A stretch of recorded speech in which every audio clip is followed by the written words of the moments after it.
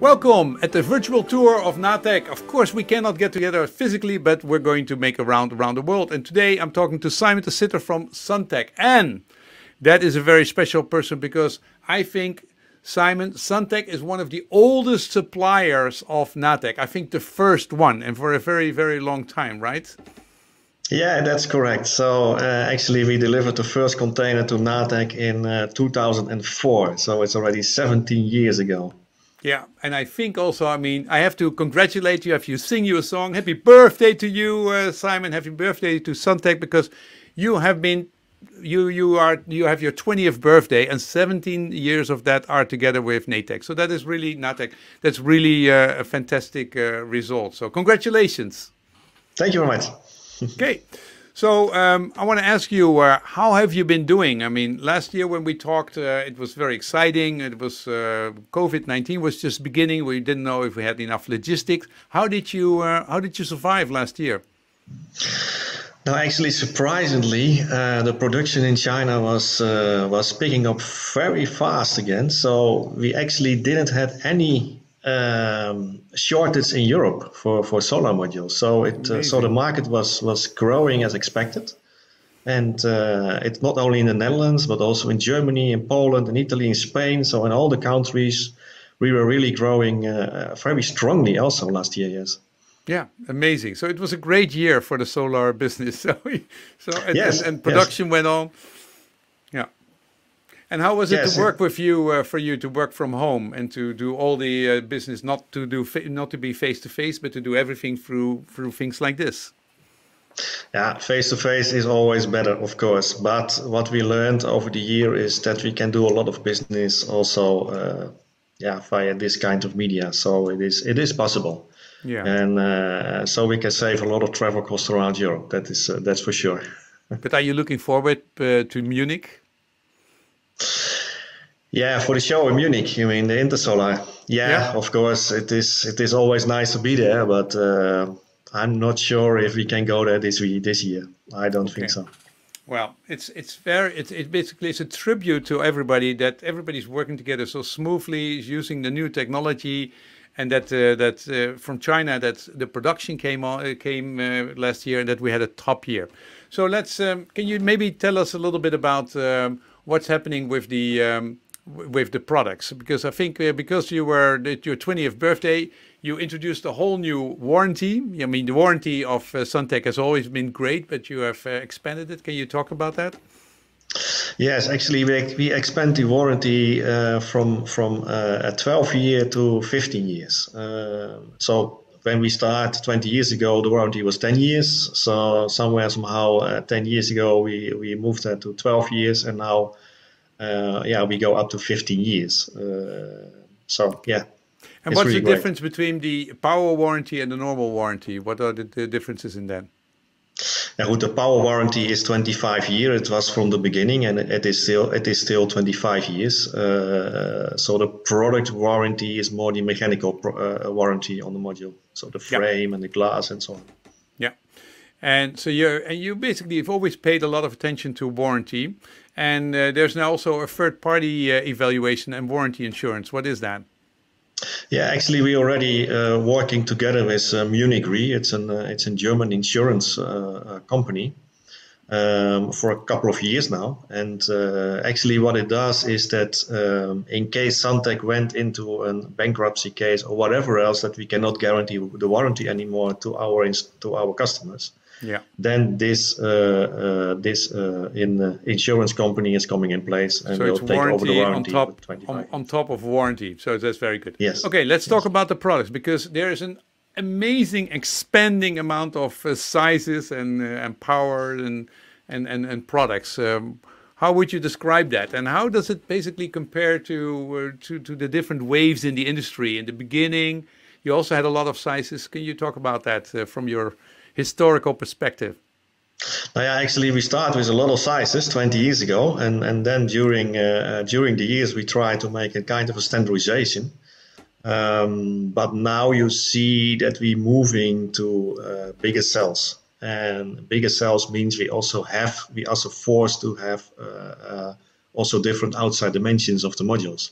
Mm-hmm. But we try to make it as easy as possible for uh, for our customers. So uh, the focus products at the moment is the Ultra S, the Ultra V, and the Ultra X.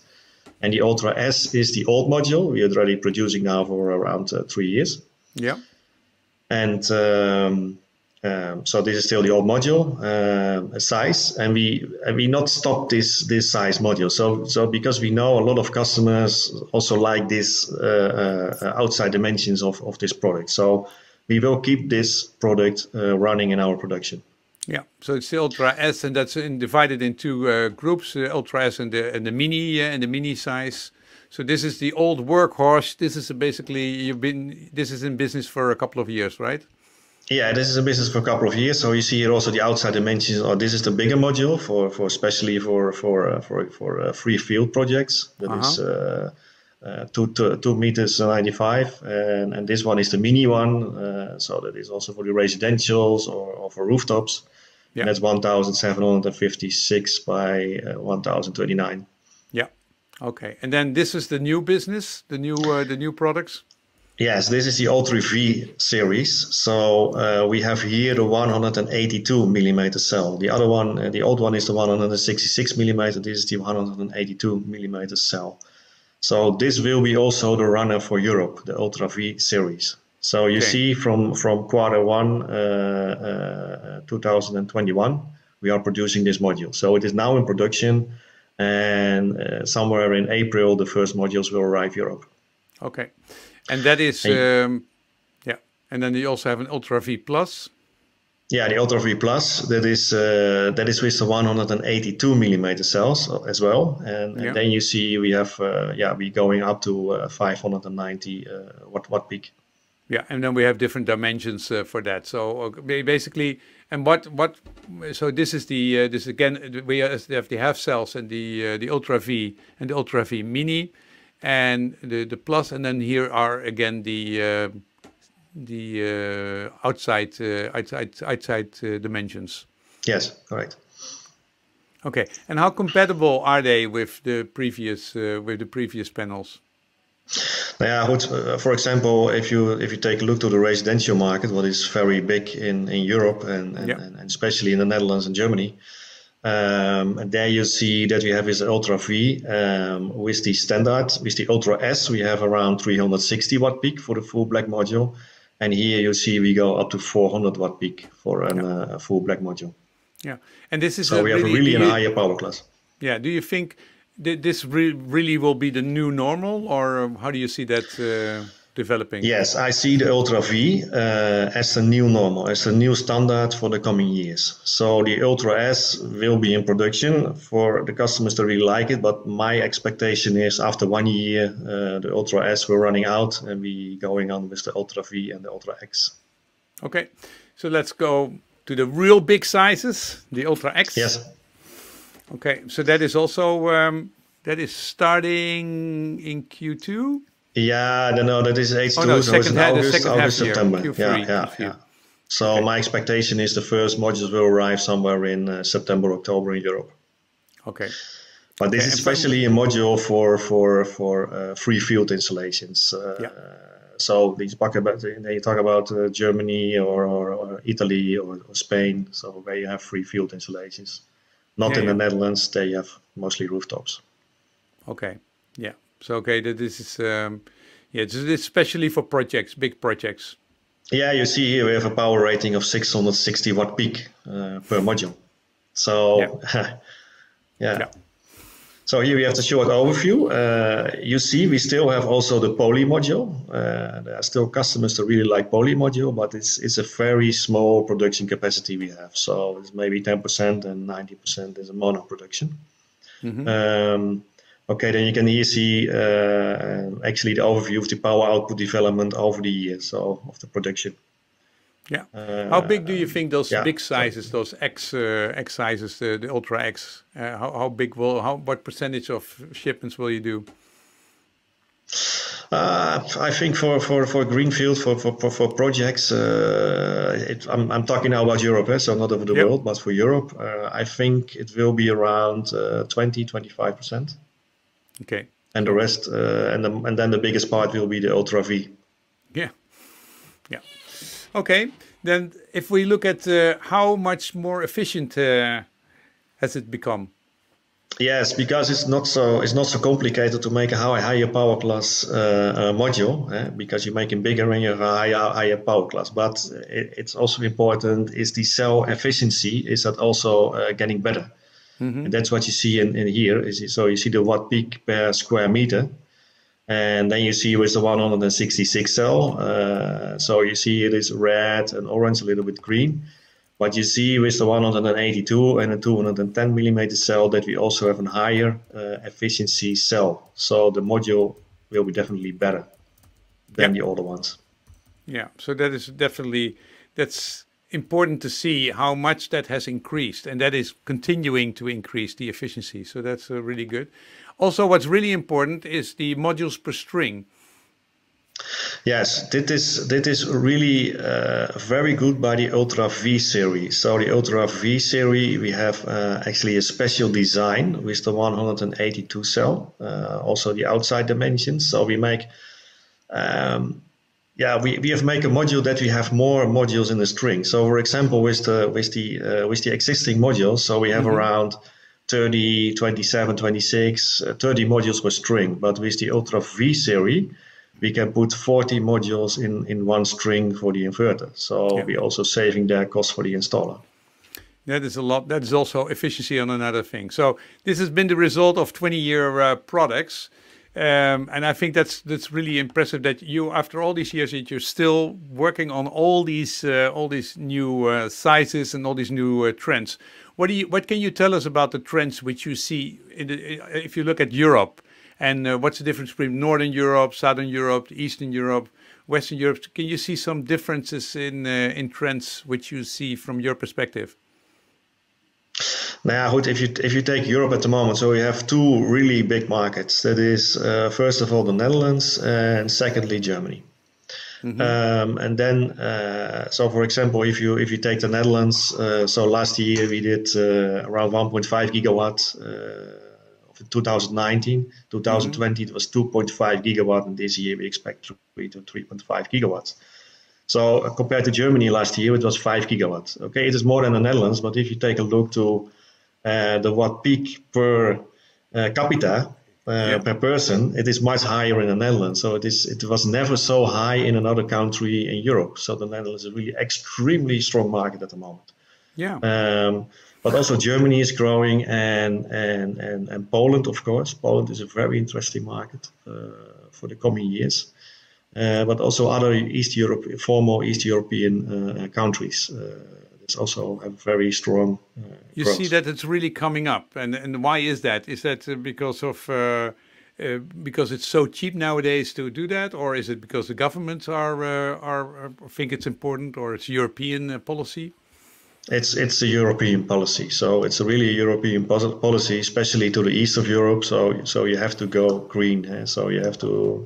Uh, so this is the policy actually from from also from Brussels, also mm -hmm. with subsidies and so on and so on. Yeah. Okay. What do you expect uh, 2021? What kind of year do you expect, uh, Simon? more and more grow. Uh, so we, we we going on, we going on. It is not stopping anymore. So this this business is so big already that that you cannot stop it anymore. So it is, uh, um, yeah. Especially the Netherlands will grow very fast. Uh, Germany will stay a little bit stable, around five gigawatts. Uh, so Netherlands is growing to three gigawatts, but also Poland is is growing. Uh, Spain is picking up again. Um, France will picking up again. How much will Poland do? Uh, just to have an idea. I mean, we do three gigawatt. How much will Poland do this year? Do you think? I don't have the figure uh, at the moment, but it is it, it's much more less. But but it's it, it will be really a market for the future. Yeah. Yeah. Yeah, yeah. So it's nice that all these different markets peak at a different moment.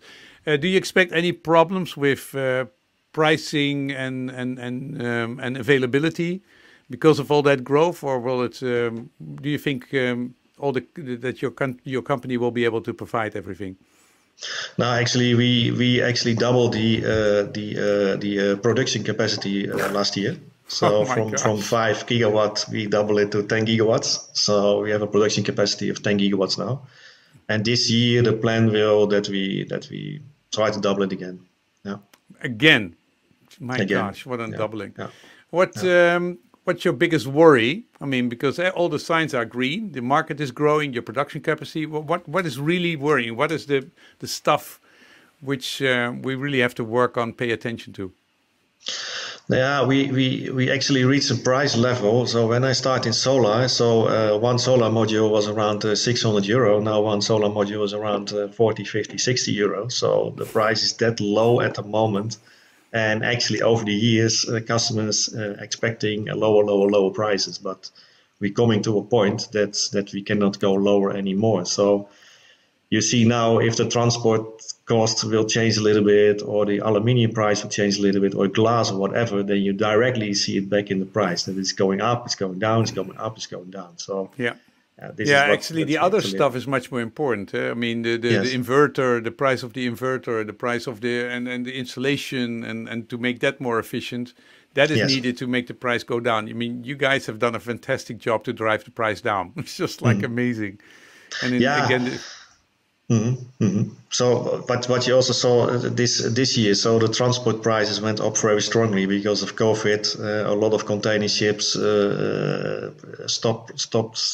Uh, yeah, actually, so so then you see that the price will will will will go up by ten percent only for transport prices. So it is this yeah we are really low at the moment in the yeah. price level. How is how is uh, if you have contact with China? How is life over there? Do you um, do they are they back to normal? They they're actually back to normal. Yeah, good, back to normal. What is normal in this time? So still they have COVID, of course, but uh, but but the production is uh, was already very very fast back to normal. Actually, it was only around six, seven, eight weeks, and then the production was totally back to normal. Yeah. Okay. Well, thank you very much, uh, Simon. I see that you're well prepared for an, uh, another excellent year. I hope to see you uh, live, that we can grab a beer in Munich. That would be fun. Yes, I do hope so as well. Yeah. I mean, you look like a, a very exciting place that you sit there. that you, that your background where you're hanging out Yeah, is this your home, home, or are you in the office? Uh, no, it's office, but home office. Yes, yes. The home office, yeah. So Yes, I hope yes. uh, to be able to talk to you uh, uh, at in Munich. That will be fun to see uh, to see at the solar. And, and thanks very much for this update.